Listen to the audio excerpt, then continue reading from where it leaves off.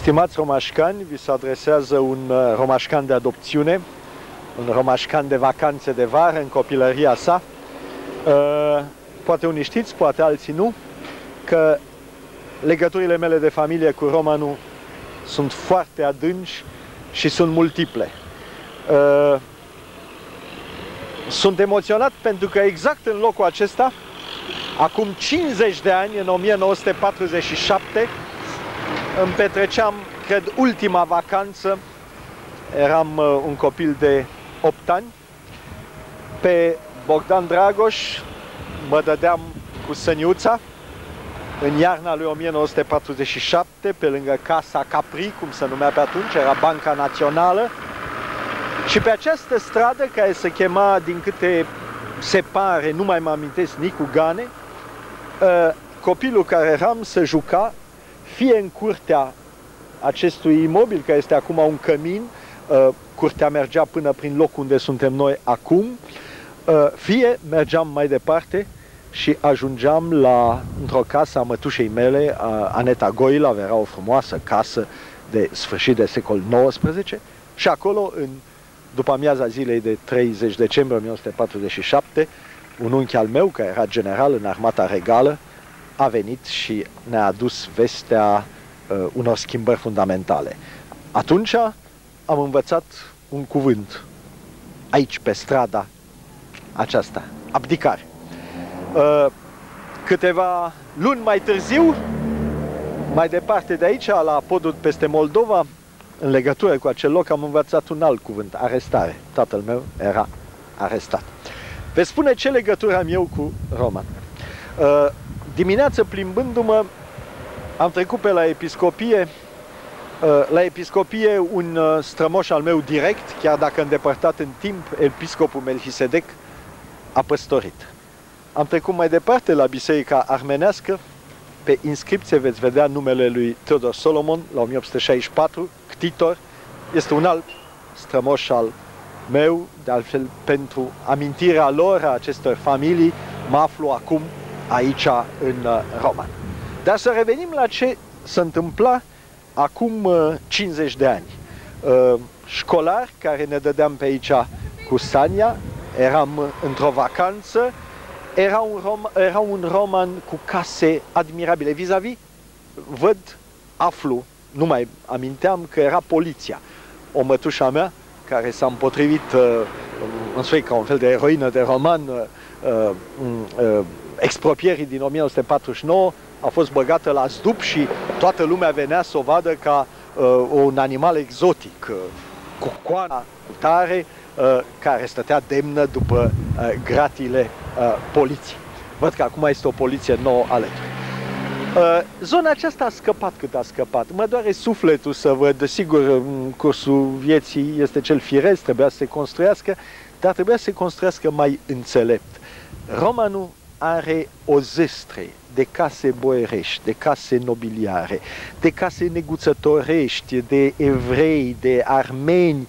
Aproape pe fiecare a trebuit pus o placă pentru că orașul dumneavoastră are această particularitate. A fost un oraș boieresc, românesc, un oraș neguțătoresc, românesc, armenesc, evreiesc, într-un sincretism extraordinar. Mă jucam cu copii pe strada asta și pe altele, mă jucam cu copii uh, uh, armeni în cartierul acesta, veneau și unii evrei mai de departe, de pe strada mare și nu știam ce suntem fiecare. Uh, trebuie să o spun că amintirea mea este destul de precisă, dar grație uh, uh, colegilor noștri de la televiziunea locală mi s-au lămurit acum și niște lucruri de uh, toponimie.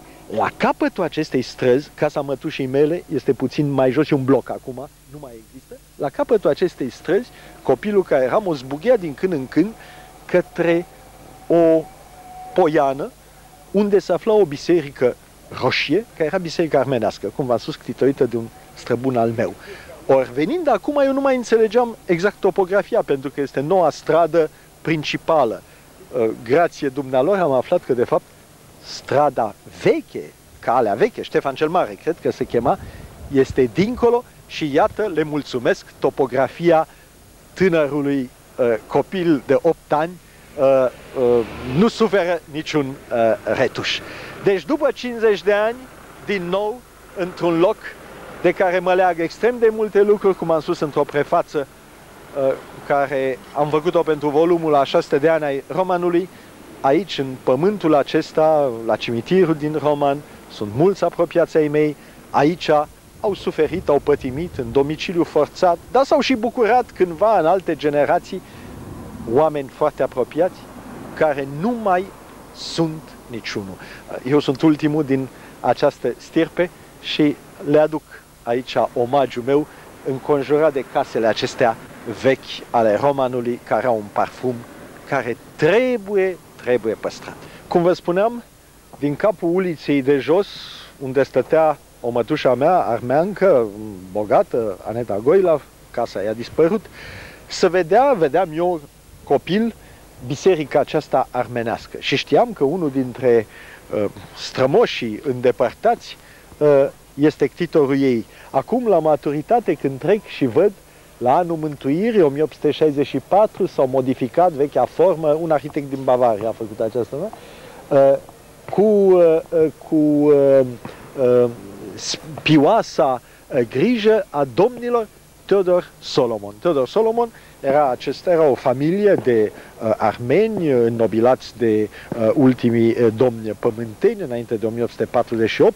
Avea un conac nu departe uh, de aici, la Bârjoveni, de-al minter, uh, pentru a-l vizita, am făcut uh, și pentru a mă ocupa de amintirea acestei relicve, sunt aici pentru câteva ore în roman uh, și veneam aici, băteam mingea cu copiii, uh, era o oază de liniște, o oază de verdeață, iar acest monument arată bogăția, în vremea lui Cuza, vodă bogăția acestui târg din moment ce aduceau un, uh, un uh, arhitect din Bavaria, numele lui apare pe cealaltă latură, din moment ce făceau o asemenea construcție uh, occidentalizantă, vă dați seama ce cultură aveau acești oameni la 1864 eram un monument ca acesta al unei minorități etnice, da, creștine, evident, ne arată ce europeni eram de fapt la acea vreme și ce toleranță eram în același uh, timp.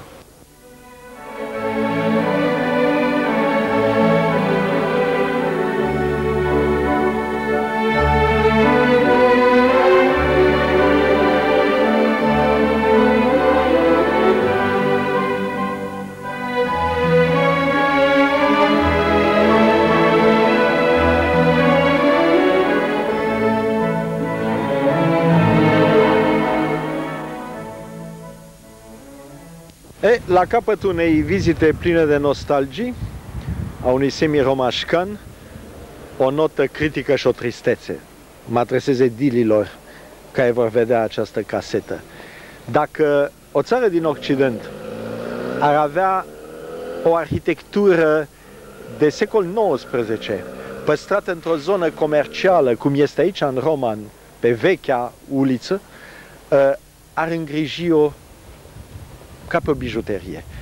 Casa aceasta, de pildă, care vorbește despre ce era arhitectura secolului uh, al XIX-lea, într-un oraș bogat și care, iată, cu două lacăte și în deplină mizerie. Numai inițiativa privată, vreau să spun din experiența care o am, numai inițiativa privată poate să salveze asemenea case. Trebuie să li se dea un rost.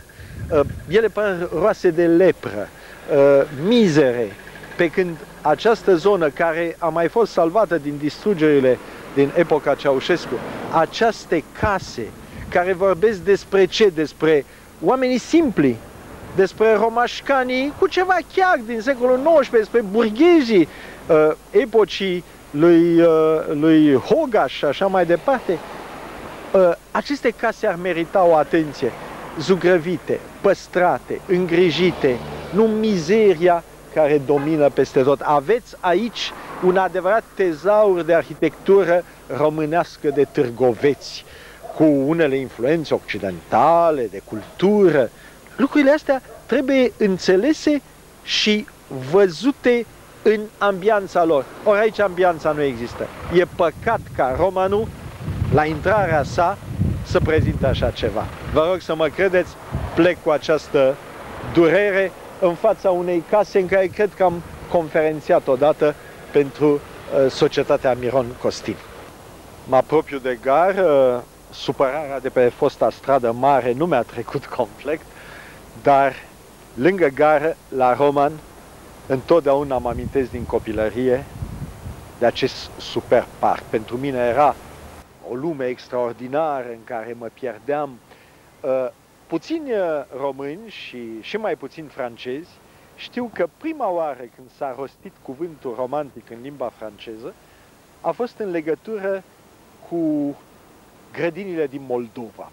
Prințul de Ligne, un călător prin Moldova, un prinț valon, în 1788 spunea uh, Le Bois Romantique, uh, parcurile romantice pe care le făceau meșer moldav, dragii mei moldoveni.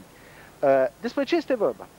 Moldova a avut o propensiune spre această natură luxuriantă și bogată uh, organizată în parcuri. Încă din secolul XVIII, în secolul XIX acest lucru s-a dezvoltat și sunt în Moldova trei mari parcuri, Copou, știe toată lumea, uh, Romanu și Botoșani.